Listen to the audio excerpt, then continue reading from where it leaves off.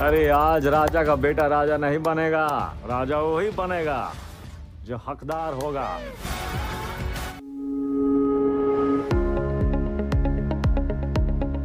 Hello दोस्तों तो कैसे हैं आप लोग? आई होप इस पैंडेमिक सिचुएशन में सब स्वस्थ और हेल्दी होंगे और हमारे स्टूडेंट को एग्ज़ाम की चिंताएँ सता रही होंगी।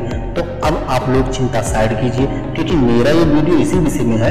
तो स्टूडेंट आइए जानते हैं इस पैंडेमिक सिचुएशन में एग्ज़ाम की तैयारी कैसे करें और अच्छे मार्क्स कैसे गेन करें। इस वीडियो में मैं आपको पाँच गलतियाँ बताऊँगा जो हमारे स्टूडेंट द्वारा किया जाता है। पहली गलती ये है मोबाइल का प्रयोग सोशल मीडिया कुछ लोग सही के लिए करते हैं, कुछ लोग गलत के लिए करते हैं, कुछ लोग पढ़ने के लिए आते हैं इस पर, लेकिन पढ़ते पढ़ते पता नहीं कब वो फेसबुक इंस्टाग्राम पर पहुँच जाते हैं। और दूसरी गलती है, पढ़ाई में कंटिन्यूटी की कमी।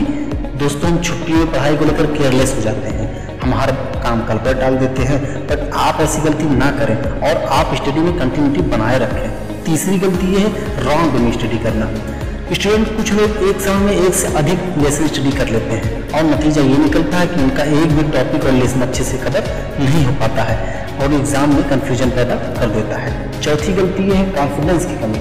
कॉन्फिडेंस स्टूडेंट के लिए बहुत बड़ी चीज़ है और वही सक्सेस की चाबी है। हमारे कुछ स्टूडेंट को अपने आप पर बिलीव ना होकर दूसरों पर बिलीव होता है और नतीजा ये निकलता है कि वो पूरी तरह अपना कॉन्फिडेंस खो देते हैं, जिसका असर उनके एग्ज़ाम पर होता है। पांचवी गलती ये है कि हम focus on yourself and don't compare other student इसका मतलब ये हुआ हम अपने आप पर फोकस ना करके अपना कंपेयर दूसरों से करने लगते हैं। और यही गलती नहीं करनी चाहिए। आई होप आपको हमारी ये वीडियो पसंद आई है। एंड आई विश आप ये टिप्स फॉलो करके एग्ज़ाम में अच्छी मार्क्स गेन कर सकते हैं। वीडियो को लाइक करें शेयर करें कमेंट करें और अपने दोस्तों को शेयर करें। Thank you